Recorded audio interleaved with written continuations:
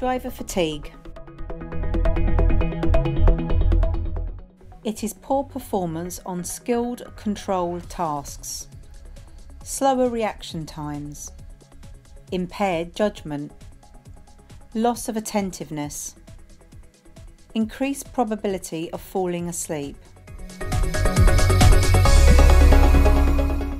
In the UK, driver fatigue is a contributory factor in up to 20% of road accidents, and up to 25% of fatal and serious accidents are due to driver fatigue, with 50% more likely to result in death or serious injury.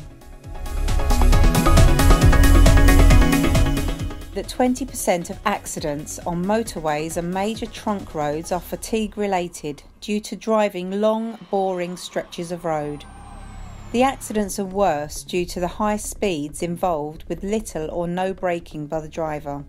The accident is twice as likely to cause death or serious injury. Those who are susceptible to driver fatigue are mostly males, aged 18 to 30. Those that work shifts, skilled trades and business drivers.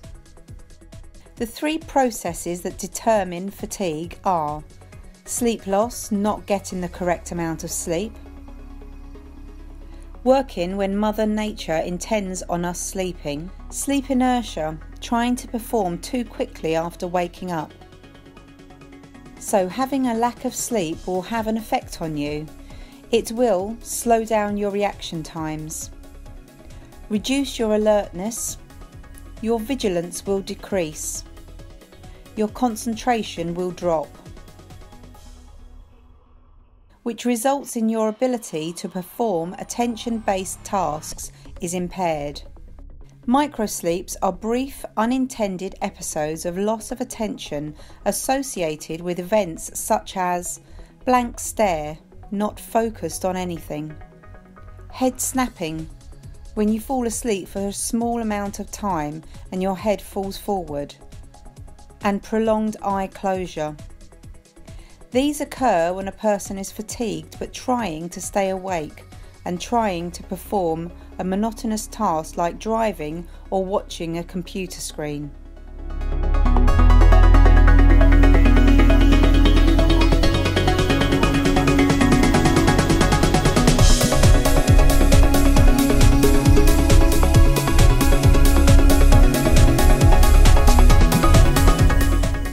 If you are driving a car and you have a microsleep, you will travel 100 metres, the length of a football pitch in 4 seconds, assuming you are travelling at 60 miles per hour.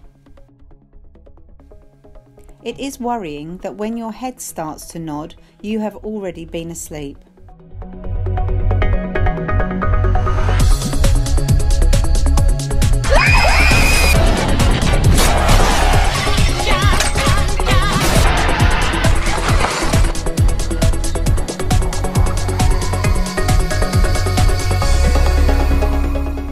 Accidents due to fatigue are likely to happen on long, boring roads like motorways. The time that they are likely to happen is between 2am and 6am. This is near shift change for most organisations and the time of day when we are naturally at our least alert. And between 2pm and 4pm when we naturally experience a dip in alertness that is sometimes called the afternoon slump. If there is a lack of sleep and then the following day you have a small amount of alcohol, this will make you sleepy. Medication is another cause.